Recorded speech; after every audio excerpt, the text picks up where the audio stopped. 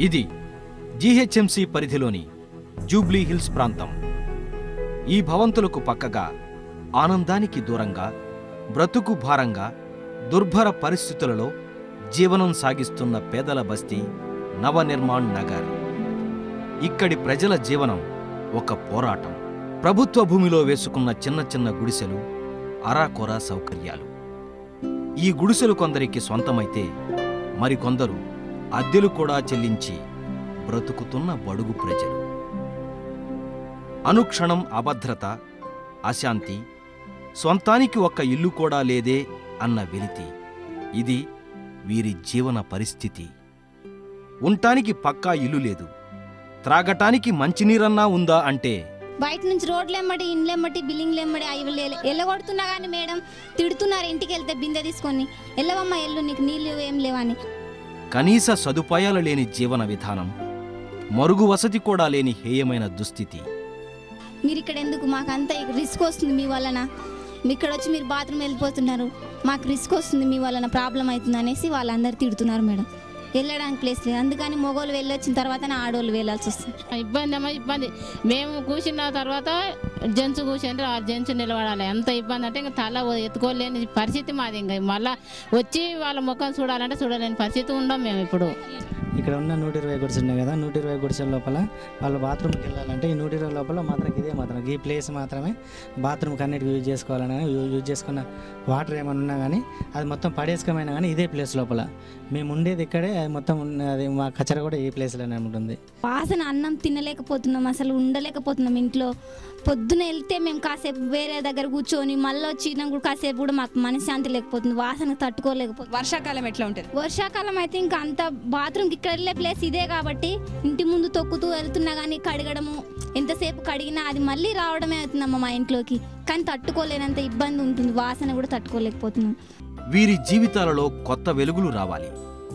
జీవన విధానంలో మార్పు రావాలి. మెరుగైన జీవితాన్ని వీరు కూడా మన అందరితో పంచుకోవాలి.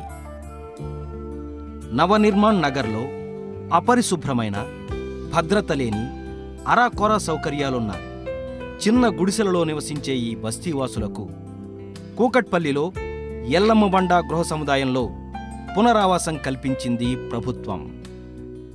ఎల్లమ్మబండ గృహ సముదాయంలో పునరావాసం పొందిన ప్రజలకు పక్కా ఇళ్ళు. ఇవి వారి స్వంతం. వీటిపై హక్కు కూడా వీరిదే. విశాలమైన రోడ్లు విద్యుత్ సౌకర్యం డ్రైనేజీ సదుపాయం నిత్యం పారిశుధ్య పరిరక్షణ. ఇలా వారికి కావలసిన కనీస అవసరాలన్నీ అందుబాటులో ఉన్నాయి. వారి జీవితాలు కొత్త కాంతులు నింపుకున్నాయి. ఈ తరలింపు ప్రక్రియలో వీరికి ఏ ఇబ్బంది కలగకుండా నాలుగు రోజుల పాటు ఉచిత భోజన సదుపాయం కూడా కల్పించింది. ప్రజల ఆరోగ్యం కోసం మెడికల్ క్యాంపులు కూడా అందించింది జీహెచ్ఎంసీ. పునరావాసం అంటే ఇక్కడి ప్రజలను అక్కడికి తరలించడం అనేది కాకుండా ఎన్నో ఏళ్ళుగా అలవాటు పడ్డ పరిసరాలను వదిలి కొత్త పరిసరాలలో అన్ని సదుపాయాలతో త్వరగా వారు జనజీవన స్రవంతిలో కలవడానికి కావలసిన ఏర్పాట్లు కూడా చేసింది జీహెచ్ఎంసీ. ఈ కార్యక్రమంలో భాగంగా తన బాధ్యతగా ఎల్లమ్మ బండ గృహ సముదాయంలో ఉండే ప్రజలకు రేషన్ కార్డులను ట్రాన్స్ఫర్ చేయించుట ఓటర్ ఐడి కార్డులను ఏర్పాటు చేయుట ప్రభుత్వ మరియు ప్రైవేట్ స్కూల్ యాజమాన్యాలతో తల్లిదండ్రులను సమావేశపరిచి వారి పిల్లలకు అనువైన స్కూళ్ళలో అడ్మిషన్లు కల్పించింది.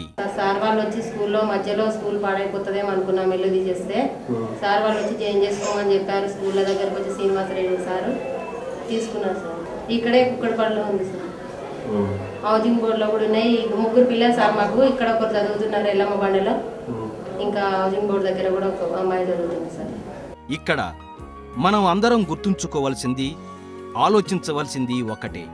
అదేమిటంటే నవనిర్మాణ్ నగర్లోని ప్రజలను ఖాళీ చేయించేటప్పుడు ప్రజలలో ఆందోళన భయం ఆక్రోశం వారి ఆవేదన ఆవేశాలను క్యాష్ చేసుకోవాలనుకునేవారు ఎందరో.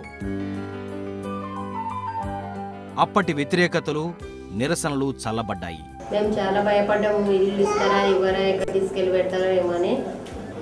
కానీ తీసుకొచ్చి మంచిగా మమ్మల్ని ఇళ్ళలో పెట్టారు. ఏ ఇబ్బంది లేకుండా అన్నం వండుకోకుండా కూడా దేవుడి దయ సలహా సలహా చూడాలి స్వామి మాకు మంచిగా సూచనలు ఎలాంటి ఇబ్బంది లేకుండా. కరెంటు ప్రాబ్లం లేకుండా నైట్ నైట్ వచ్చినట్టే కరెంట్ వేయించిండు. నీళ్ళకు ప్రాబ్లం లేకుండా నీళ్ళు చూసిండు. ఇప్పుడు కూడా ప్రాబ్లం లేకుండా రోడ్లు నీట్గానే ఉన్నాయి రోడ్లు కూడా. మాకు ఎలాంటి ప్రాబ్లం లేకుండానే ఉన్నది. నవనిర్మాణ్ నగర్ కాలనీ వాసులకు ఎల్లమ్మ బండ గృహ సముదాయంలో పునరావాసం కల్పించడం ద్వారా వీరందరికీ మెరుగైన జీవితం అందించాలి అన్న లక్ష్యం నెరవేరింది. పూరి గుడిసెల స్థానంలో పక్కా ఇళ్ళు వచ్చాయి. మురికి నిండిన పరిసరాలకు బదులుగా రంగవలులు దిద్దుకున్నాయి. అరాకొరా సౌకర్యాలున్న జీవితాలకు అన్ని సౌకర్యాలు అందుబాటులోకి వచ్చాయి. అదే మేము అడిగేది. ఇప్పటికంటే మాకు ఎలాంటి ప్రాబ్లం ఏం లేదు. రోడ్లు అన్నీ బాగానే ఉన్నాయి. కరెంటు కొంచెం వాటర్ ప్రాబ్లం అంతే మాకు కరెంటు బీగల కూడా ఏం ప్రాబ్లం లేదు. చివరిగా ఒక్క మాట.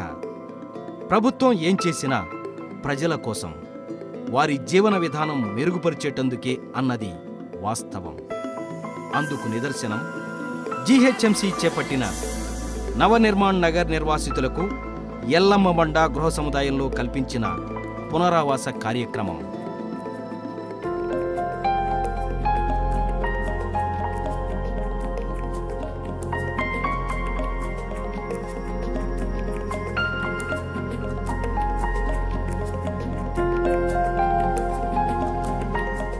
ఊరి గుడిసెలో నివసించే పేదవాడి కన్నుల్లో నిరాశ నీడలు వదలాలి. మురికి వాడలు ఆదర్శ కాలనీలుగా మారాలి. పక్కా గృహాల మణిహారపు కాంతులు మీ జీవితాలలో ఆనందాన్ని నింపాలి అంటే దారిద్ర్యపు చీకటిని పారద్రోలే ఇలాంటి పునరావాస కార్యక్రమాలకు ప్రజల సహకారం అంటే మీ సహకారం మాకెప్పుడూ కావాలి. మీకోసం మీ జీహెచ్ఎంసీ